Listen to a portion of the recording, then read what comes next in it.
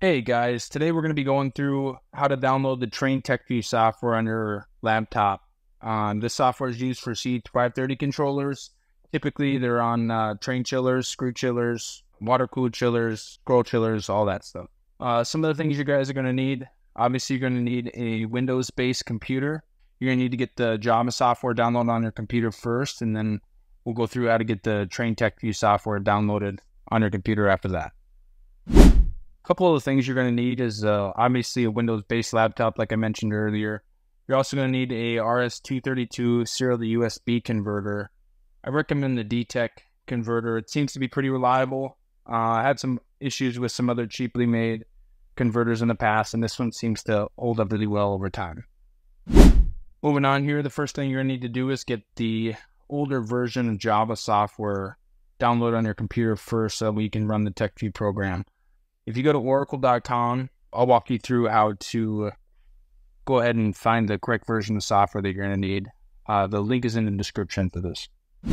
Once you're on Oracle's website, go ahead and scroll down to the page until you come to this Windows x86 offline version of the software. Uh, make note that the highlighted version is the correct version that you have. There's a bunch of different variations on there. You want to make sure that you get the correct version, otherwise your software is not going to work. Go ahead and double click on that link. Once you double click on the link, you're going to get prompted to review Oracle's terms and conditions. Go ahead and review those and check the box there and hit download. Once you hit download, Oracle is probably going to ask you to go ahead and create an account. It doesn't take very long. Go ahead and create an account quick. You need it in order to download the software. You can delete the account when you're done. You just need it for downloading the software. Once your download is complete in your web browser, go ahead and double click on that and it will take you to the setup of Java. So go ahead and get that installed and set up properly. And then you're ready to move on to the next step. The next thing you're going to need to do is get the Trane TechView software. Um, Trane has it on their website for free. I have a link for it in the description. It'll take you right to the page. Go ahead and click on that and it'll take you right to Trane's website. Once you're at Trane's website, go ahead and click both of those TechView tabs. You'll need to download the standard TechView software, and then you'll also need to download the Service Pack.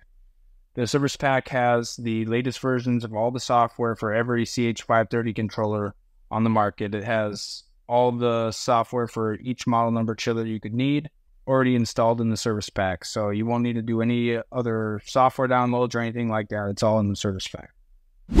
Once your Trane TechView software is downloaded in your web browser, go ahead and double click on that and continue to set up all the application on your computer. Just run through that really quick. Won't take you very long. And then uh, after you've done that, you have software and it is ready for use.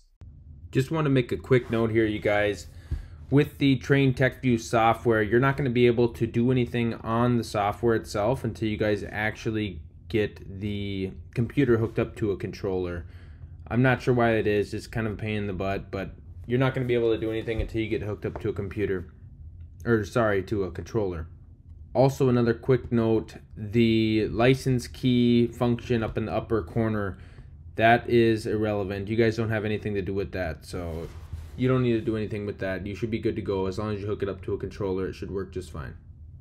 I'll be making some more videos here in future on how to bind sensors, download software on controllers, and some other tricks you can use the TechView software for.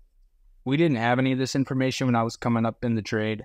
So if you guys found this information useful, please like and subscribe. I'm trying to grow the channel so we can produce more content like this to help everyone learn more and share knowledge.